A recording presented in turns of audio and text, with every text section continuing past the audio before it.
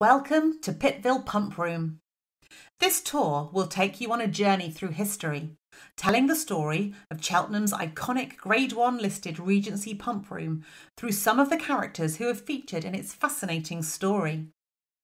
Our story begins in 1800 with Joseph Pitt, a yeoman who had risen to become a solicitor, then wealthy banker, and the MP for Cricklade in Wiltshire. He bought a considerable amount of land to the north of Cheltenham it was used as farmland until the 1820s, when Pitt embarked on his vision of a new spa and town of Pittville. New spas were opening, drawing large numbers of visitors, and England was experiencing a housing building boom. By 1824, Pitt's vision was underway. Local architect John Forbes designed the pump room and estate layout, and the roads and landscaping fell to nurseryman John Ware. Today, May 4th, 1825, is a day that will be remembered, for today the foundation stone for the great pump room is laid. Just listen to the jubilation, see the crowds who have come in numbers to witness the splendor of this momentous ceremony. I believe today will be documented for generations to come as a most splendid occasion in the history of Cheltenham. I stand on the site where my magnificent pump room will rise as the centerpiece for Pittville, the spa town I am creating. It will rival Cheltenham. Here I will build 500 houses, a park, and a lake, a church. Visitors will come to take the waters, to marvel at the magnificence of the pump room, to promenade in the park. John Forbes's design was for a two story building with a large central hall and an oval pump room.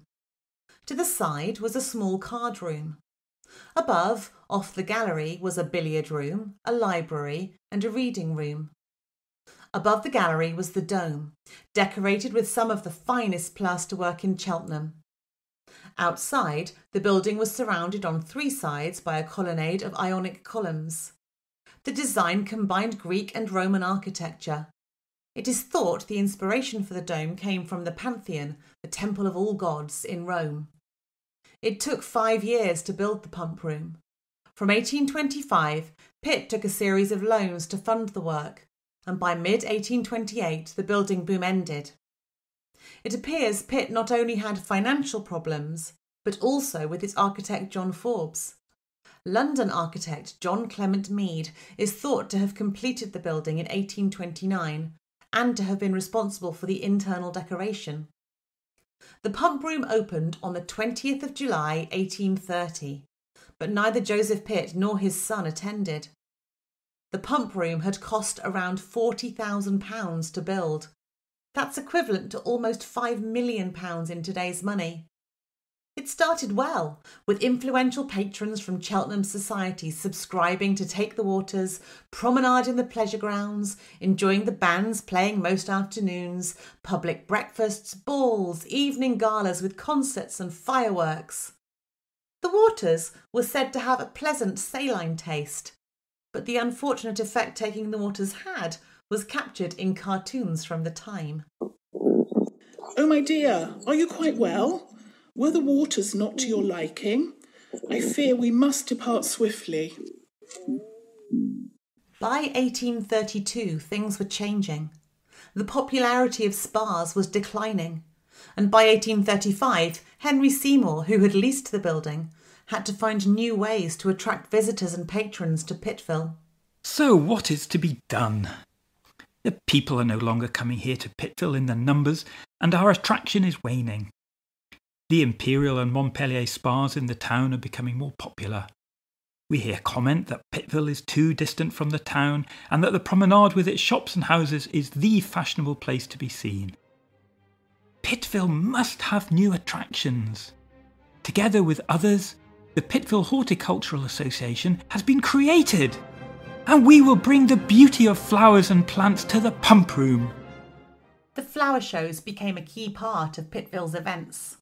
Increasingly adventurous special attractions followed between 1837 and 1840.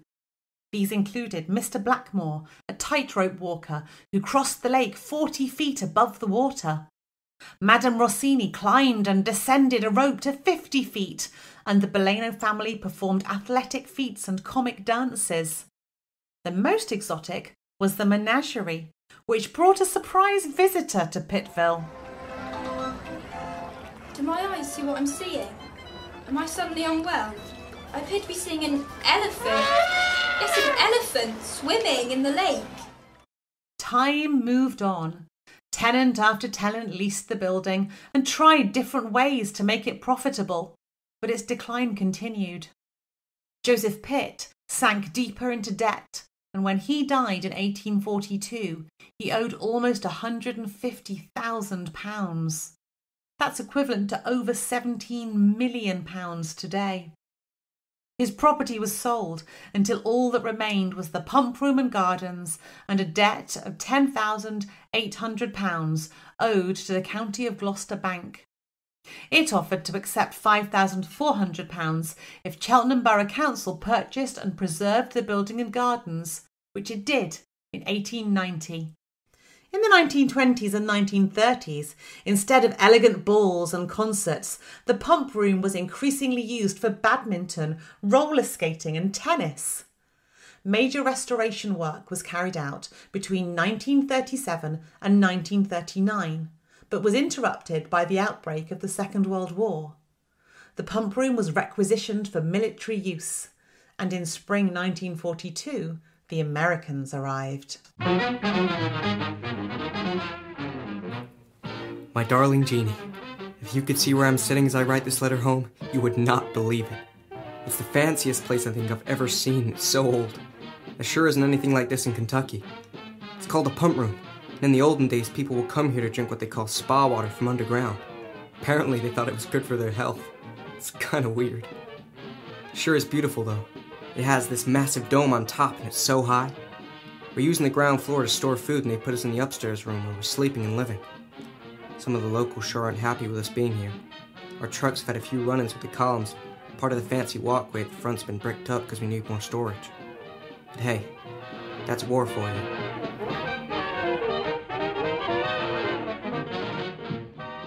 The pump room was derequisitioned in 1946.